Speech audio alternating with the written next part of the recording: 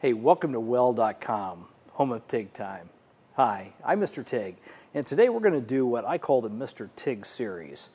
And what I want to do is introduce to you uh, products that I evaluate, and sometimes these products are very impressive and they're only missing a few things. Uh, so, what I've done is I've taken a product and I'll add to it. So, when you get that product, if you get it and it has a Mr. TIG series sticker on it, then I've either added something or changed something on the machine. So it's not the same.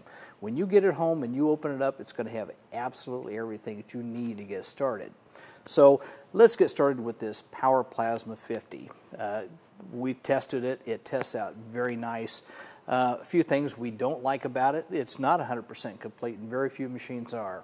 And usually the manufacturers do that because they don't want to start adding things because it adds to the price point. But here's what's important.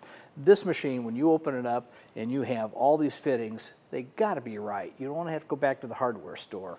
So what we've done is we've taken this product and we've added features like uh, you'll see it on the back here we've added an extra air filter. And we've done that because it's very, very inexpensive to do, and it saves your torch and it saves your tips.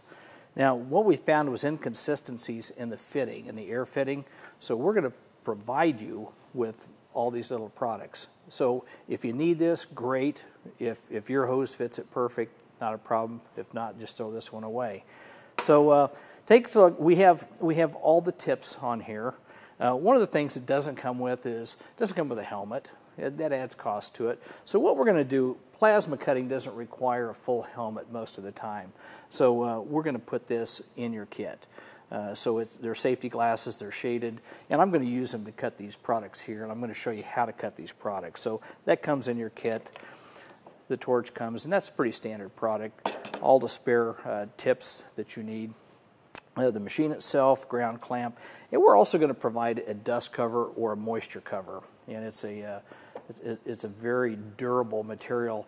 It's not 100% dust free. Obviously, it's got to be super tight to be dust free. But anyway, you cover your machine. It's going to keep a lot of the dust and moisture away from your your controls.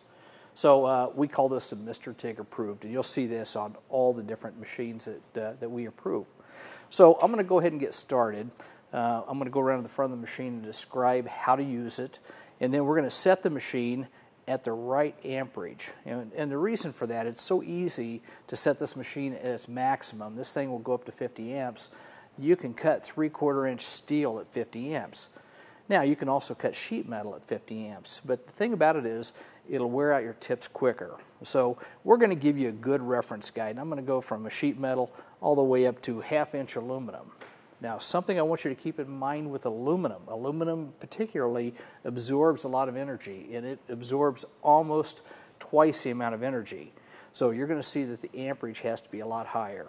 Uh, for example, I've got half inch thick aluminum here. It's not going to cut much heavier than half inch thick aluminum, and, and I'm going to be maxed out on it. So, let me get my, uh, my gear on. Uh, I'm going to go ahead and put this over the machine.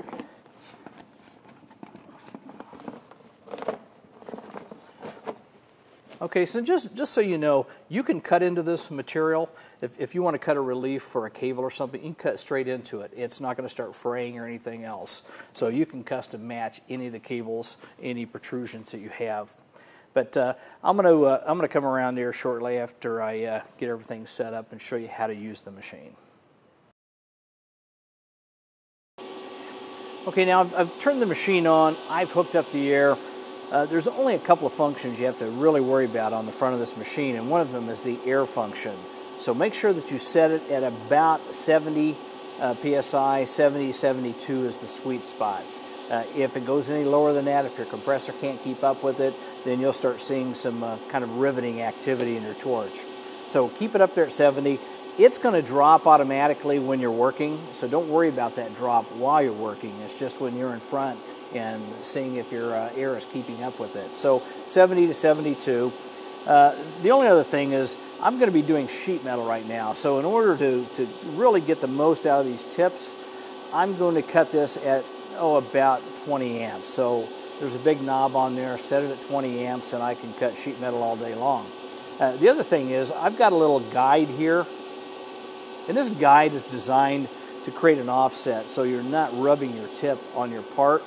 Well, that sounds easy, but when you start getting into contours and tough spots, you may want to take this guide off and just you have to work your way around, uh, you know, some kind of a contour.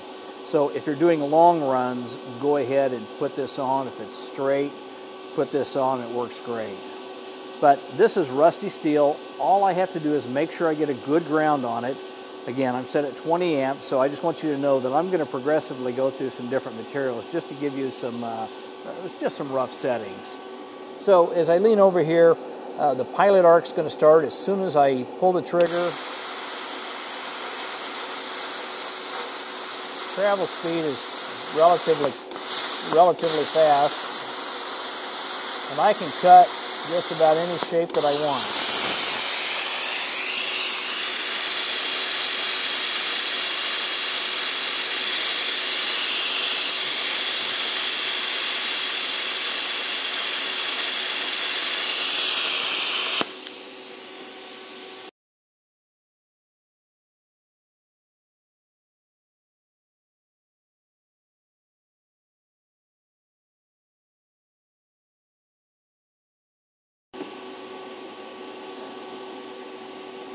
Okay, you probably noticed that the flame coming off the torch here stayed on after I finished cutting. Well, that's because I've got a little toggle switch there that allows me to run this thing as a manual machine, meaning I could trigger it on off here, or I could put it into a CNC mode. In your kit, you're gonna see this little blue thing right here. What this is is an adapter, and it plugs in the back, and if you wanna go into CNC uh, controls, you can. So that's with your, your kit. I went ahead and I switched the machine back to manual. Now I'm going to do another cut. You're going to see how quickly it, it extinguishes as soon as I let off the trigger.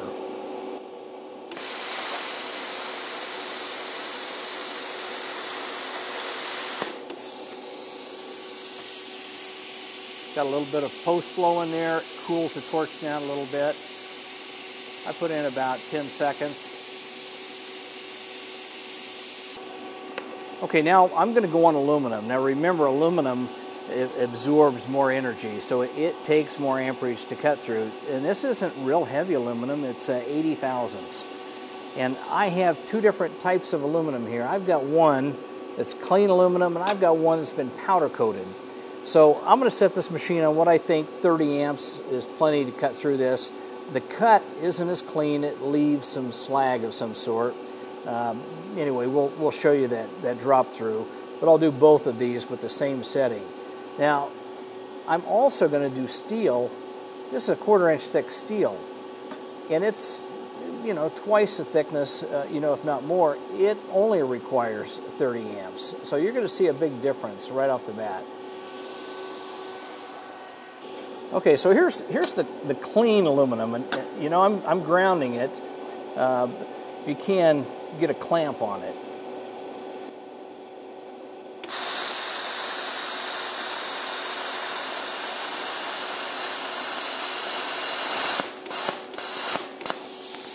Okay. I'll turn it over. You know, at 80 thousandths, there's not much drop through, not much slag at all pretty good travel speed, and you kind of have to control that travel speed. It's kind of like TIG welding. You just got to get a nice, smooth rhythm going. Okay, now, just so you know, as long as I get contact on the bottom of this, this will cut right through powder coating. So uh, I'm, I'm holding it with hand pressure contact.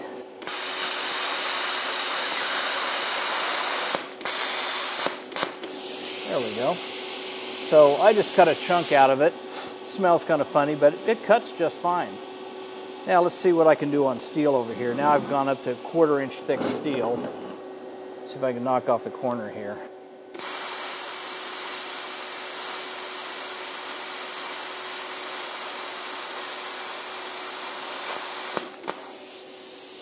Not a problem.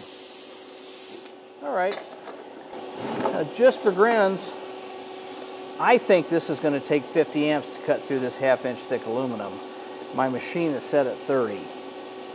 I'll, I'll see if I can do it. If not, I'm going to go ahead and I'll set the machine up to the full 50 amps.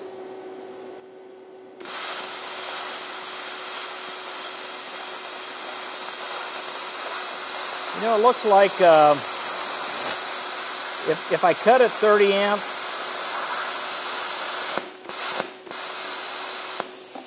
you know, it, it tries to cut through, but you can see that there's there's some slag there. They call that dross. It just didn't punch through cleanly. So I'm, I'm going to go ahead and set this machine at the full full 50 amps.